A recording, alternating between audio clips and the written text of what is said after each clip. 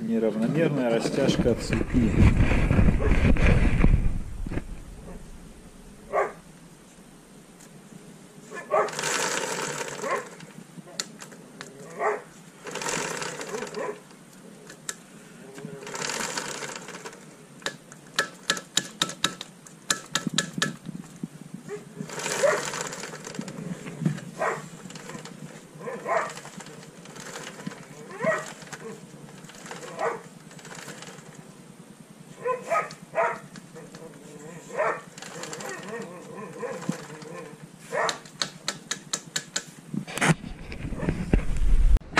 Вот, собственно, и почему неравномерный износ у цепи.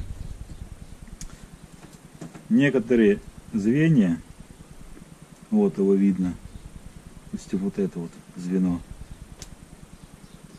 имеет люфт,